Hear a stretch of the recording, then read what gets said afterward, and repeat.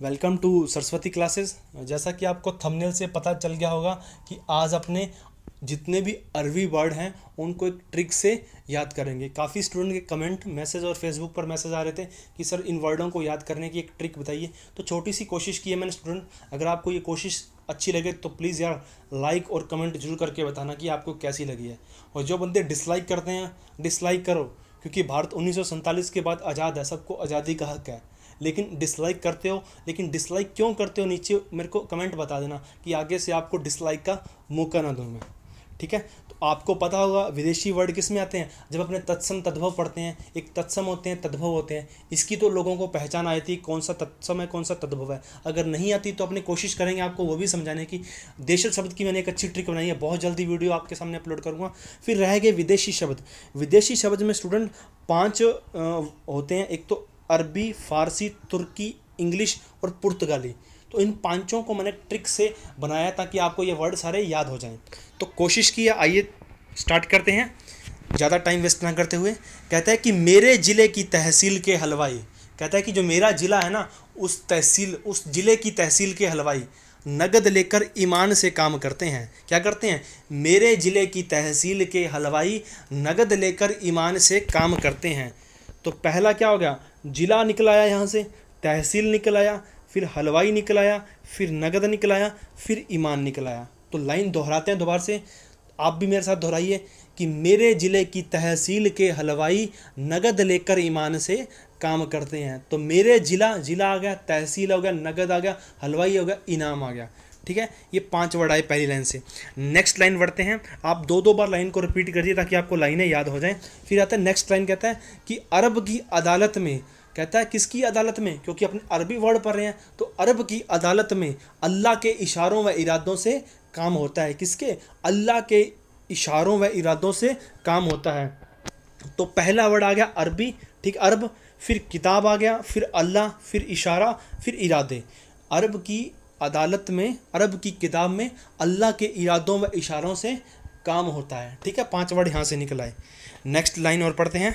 कहता है कि अरब की अदालत में अजीब अमल का आदमी ही आज़ाद रह सकता है। कहता है, अरब की अदालत में अजीब अमल का आदमी ही आज़ाद रह सकता है। तो अरब तो अपने वहाँ कर लिया था। यहाँ अदालत अजीब अमल, आदमी और आज़ाद। पाँच वर्ड यहाँ से निकला है। इट मीन्स तीन लाइनों में अपने कितने पंद्रह वर्ड कर लिए, वो भी छोटी सी एक राइम के द्वारा। तो पहली लाइन क्या थी? कि मेरे ज़िले की तहसील के हलवाई नगद लेकर ईमान से काम करते हैं। दूसरी लाइन क्या थी स्टूडेंट कि अरब की किताब में अल्लाह के इरादों व इशारों से काम होता है। और तीसरी लाइन ये लिखी आपके सामने कि अरब की अदालत में अजीब अमल का आदमी आज़ाद रह सकता है। तो नेक्स्ट और पढ़ते हैं स्टूडेंट नेक्स्ट लाइन बोलते हैं कि अरब में अपने को अरब कंट्री में कोई इलाज करवाना है किसी चीज़ का तो अपने को इंतज़ार करना पड़ेगा और अपने को अगर अपनी, दिखाने है कि अपनी इज़्ज़त क्या होगी तो उसके लिए अपने लोगों को इनाम देना होगा। क्या कहते हैं लाइन में? कि अरब अरब में इलाज का इंतज़ार करना और इज़्ज़त में इनाम का इस्तीफ़ा देना पड़ता है। अरब में इलाज का इंतज़ार करना और इज़्ज़त का, में इनाम देने का इस्तीफ़ा देना पड़ता है। अरब में इलाज का इंतज़ार करना और इज़्ज़त में इनाम का इस्तीफ़ा देना पड़ता है। तो पहला क्या आ गया स्टूडेंट पहला आया स्टूडेंट यहाँ से इलाज निकल गया इंतज़ार आ गया इज़्ज़त आ गया इनाम आ गया इस्तीफ़ा आ गया। ये पाँच वर्ड यहाँ से निकला है। तो स्टूडेंट एक बात और कह रहा हूँ कि अपने इन्हीं लाइनों में उन्हीं शब्दों को करेंगे जो मोस्ट अच्छे राइटरों की बुक है जो यूपीएससी के लिए पीसीएस के लिए काम आती है या किसी भी यूनिवर्सिटी के टीचर की आ, मतलब लेक्चरर की बुक है व्याकरण की या उसने चालीस पचास वर्ड हर किताब में एक जैसे वर्ड दिए मोस्टली चालीस या पचास, उनको अपने ट्रिक से पढ़ेंगे, ताकि इन फ्यूचर कभी भी एग्ज़ाम में आए तो आप उसको दोहरा सको।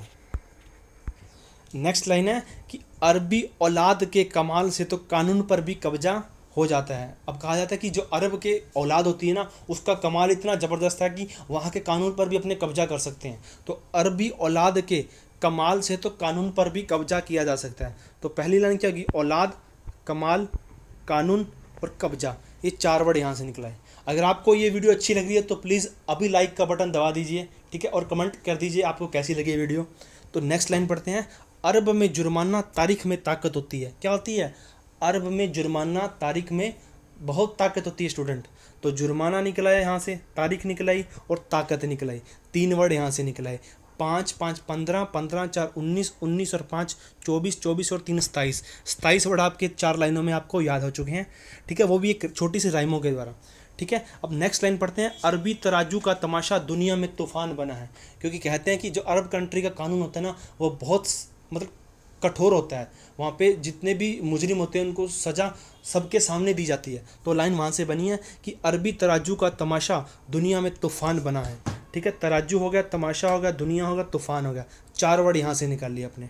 नेक्स्ट लाइन की ओर बढ़ते हैं स्टूडेंट कहता है कि अरबी दफ्तर में शतरंज, अरबी दफ्तर में शतरंज का हिसाब होता है। तो यहाँ से निकला है स्टूडेंट दफ्तर, शतरंज और हिसाब, तीन वर्ड यहाँ से निकल आया। नेक्स्ट लाइन की ओर बढ़ते हैं स्टूडेंट कहता है कि वकील के फैसले की मदद से, वकील के फैसले की मदद से गरीब जनाब ने चश्मा पहनकर नगद पर बहस की। यहाँ की लिख लो। ठीक है स्टूडेंट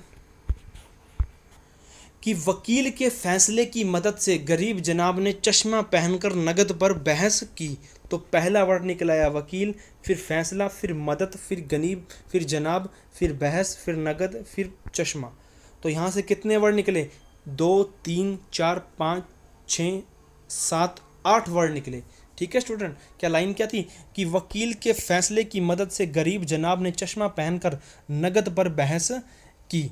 नेक्स्ट लाइन की ओर बढ़ते हैं। कहता है कि सुबह दौलत का नशा फ़कीर में चढ़ गया। सुबह दौलत का नशा फ़कीर पे चढ़ गया। ठीक है? तो यहाँ क्या आएगा स्टूडेंट सुबह आ गई दौलत होगी, नशा हो गया, फ़कीर हो गया। ये चार वर्ड है स्टूडेंट ये चार वर्ड हैं जो किसके हैं? अरबी के वर्ड हैं। ठीक है? उसके बाद कुछ और वर्ड हैं जो दो तीन जो इस ट्रिक में फिट नहीं बैठे, लेकिन मैंने उसको आपको अलग से बताना। ठीक है? मुनासिब समझा? तो यहाँ क्या होगा? एक तो मतलब होगा, मतबल।